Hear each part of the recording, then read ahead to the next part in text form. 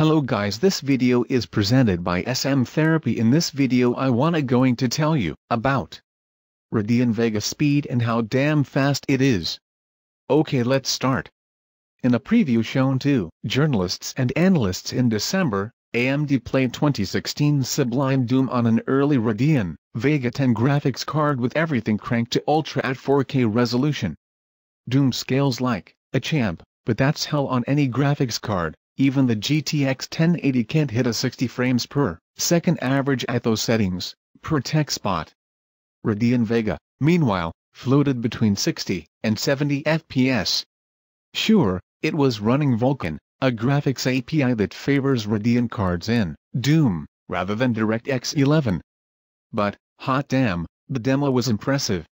A couple of other sightings in recent weeks confirm Vega's speed, at the New Horizon live stream that introduced AMD's Ryzen CPU to the world, the company showed Star Wars Battlefront running on a PC that pairs Ryzen with Vega.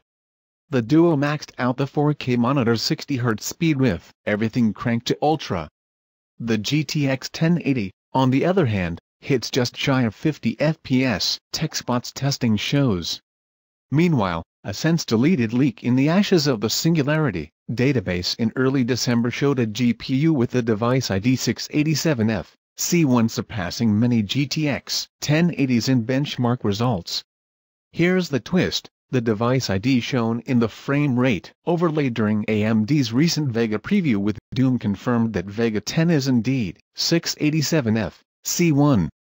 These numbers come with all sorts of caveats, Vega 10 isn't in its final form, yet, we don't know whether the graphics card AMD teased is Vega's beefiest incarnation, all three of those benchmark games heavily favor Radeon, etc. But all that said, Vega certainly looks competitive on the graphics performance front, partly because AMD designed Vega to work smarter, not just harder. Moving the right data at the right time, and working on it the right way, was a major goal for the team, according to Mike Mantor, an AMD corporate fellow focused on graphics and parallel compute architecture, and a large part of that stems from tying graphics processing more closely with Vega's radical memory design.